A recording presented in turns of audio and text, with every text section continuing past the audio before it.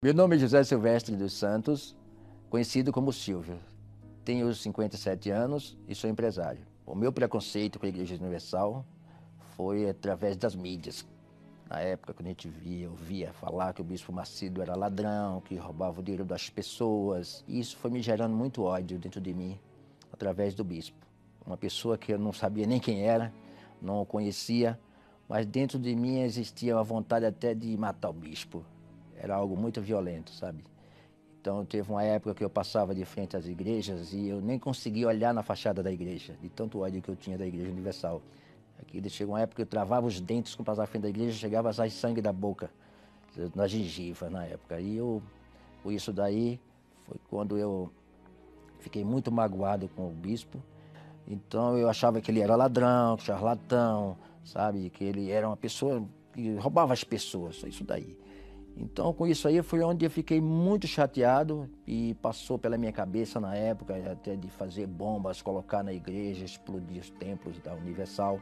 Eu pensei até em usar tubos de PVC na época aí, encher de dinamite, sei lá, uma coisa assim, e lançar dentro dos templos, né? E, mas a minha intenção era fazer isso com os templos lotados. Então eu passei muito isso pela minha cabeça. No dia que o Bispo Macedo foi preso, é, naquele dia eu, eu Fiquei no balde inteiro comemorando a prisão do bispo. Mas bebi tanto, bebi bastante mesmo. Então, e não só bebi, como paguei para os outros.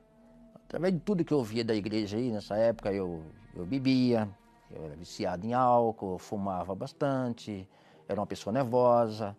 Eu chegava na minha casa, eu tratava minha esposa para ser um animal. Teve uma época aí que eu comecei a é, frequentar um centro espírita. E nessa época aí comecei até a obter um grande êxito lá na época.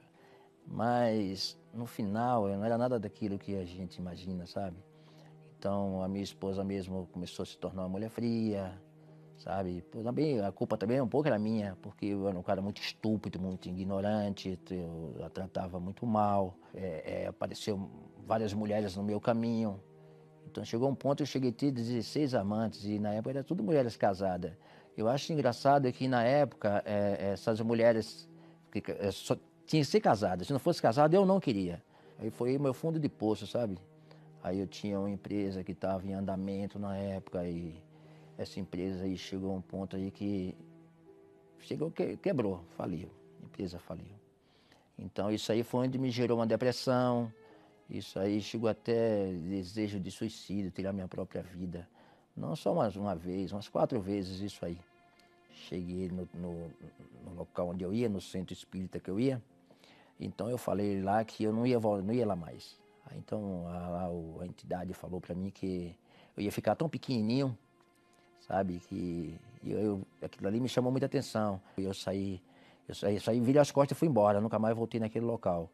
Dali para cá, em três meses eu não tinha mais nada. A empresa faliu de tudo. Tá? Foi onde eu, um dia eu fui na, na casa da minha ex-mulher, fui lá e fui fazer um serviço lá e chegou meu irmão e esse meu irmão ele gosta muito de mim.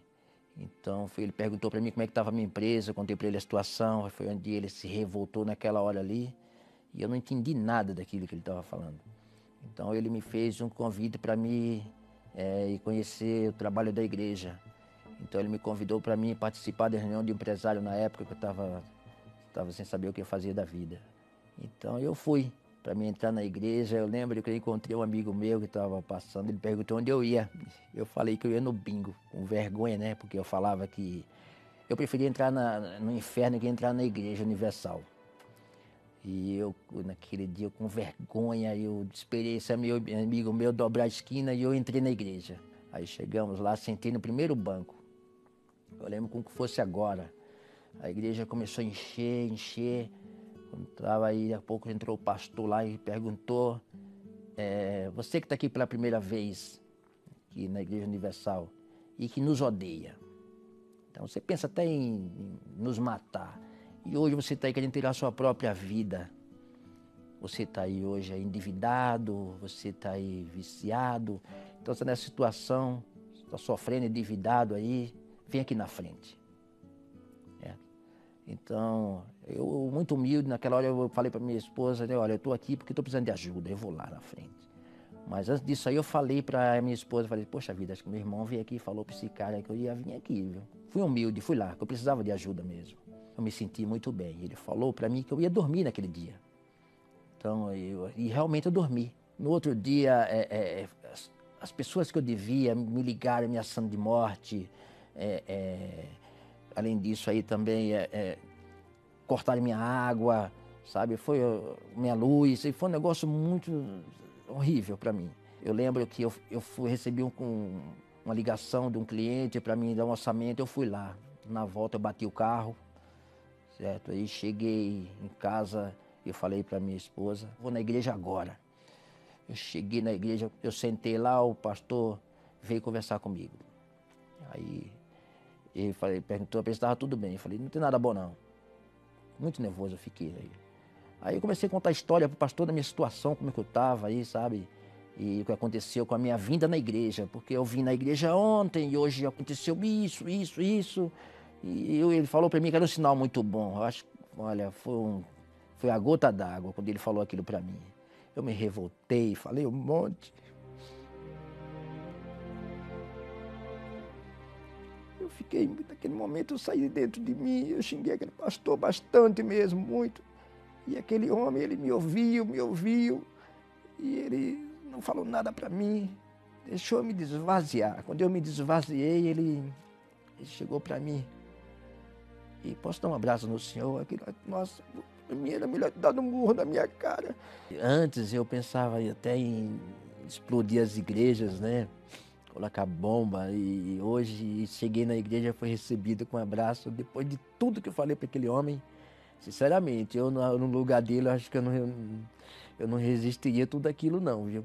Eu lembro que eu cheguei na, num domingo na João Dias, estava o Bispo Macedo, que era uma pessoa que eu, eu tinha vontade de matar o Bispo Macedo, mas tamanha que era violenta.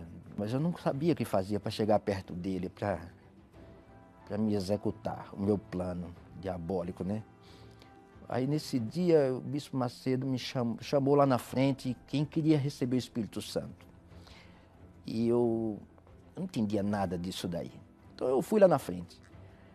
E chegando lá no altar, na, na, na João Dias, eu lembro que eu encostei o meu rosto no, no, altar, coloquei as duas mãos sobre o altar. O bispo veio andando por cima do, da borda do altar, ele ficou em pé em cima da minha cabeça, assim, sabe? Eu lembro disso daí, uma voz no meu ouvido na hora, aí você não queria matar o homem? Tá aí o homem nas suas mãos aí, ó. Vai, puxa ele aí, você vai, você vai bater a cabeça, vai morrer agora, na sua frente aí. Vai, vai, seu frouxo, vá. Vá, seu mole, você é mole. Eu não sei.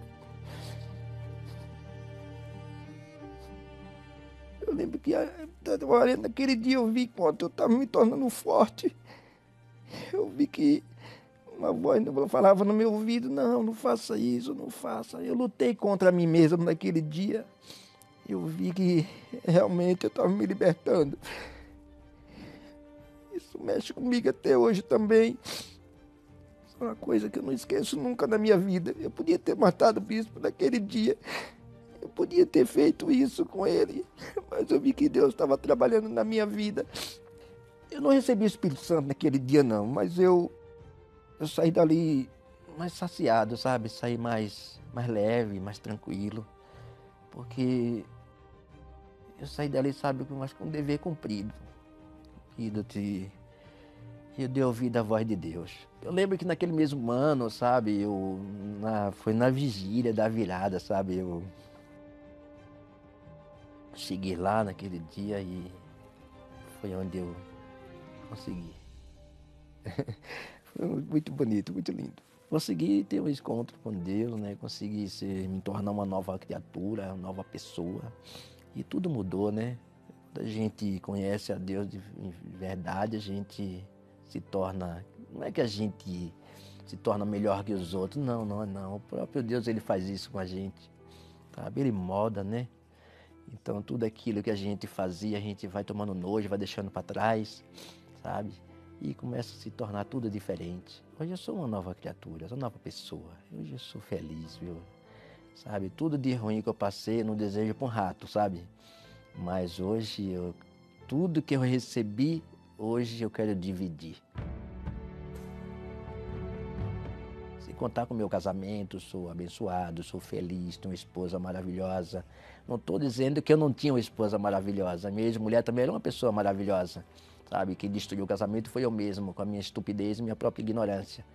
Hoje, eu que não gostava da igreja, sabe, eu que falava muito mal, achava que eram ladrões, entendeu? E hoje, eu, mas a minha esposa, a gente trabalhamos muito e hoje nós somos patrocinadores da obra, sabe? E somos muito felizes. Estamos aí para ajudar aqueles que não conhecem a obra. E a gente convida você que hoje está aí sofrendo, passando por uma situação muito difícil, sabe? Então, que você venha conhecer o trabalho da igreja e tirar suas conclusões. Assim como eu um dia também fui, sabe, fui rebelde comigo mesmo, sabe, por causa daquilo que a gente ouvia nas mídias no passado. Então isso fez com que a gente perdesse muito tempo, mas superamos, graças ao meu Senhor. Hoje eu peço perdão, Bispo Macedo, sabe? Me perdoa, Bispo, por tudo que pensei do Senhor, tudo que falei, e agradeço ao Senhor por tudo que o Senhor tem feito, não só por mim, por todos aqueles que hoje chegam na Igreja Universal aí em situação difícil. E se não fosse o Senhor que foi usado por Deus no passado para que viesse passar pelo que o Senhor passou, viu? Que eu acho que eu não aguentaria suportar o que o Senhor suportou, não, viu? Eu lembro que o Senhor foi preso daquela vez que eu fiz festa aí comemorando tua prisão, hein? Então, me perdoe, tá? Por tudo que falei a seu respeito. E hoje eu devo a minha vida ao Senhor. Tenho certeza disso. Muito obrigado. Desculpa.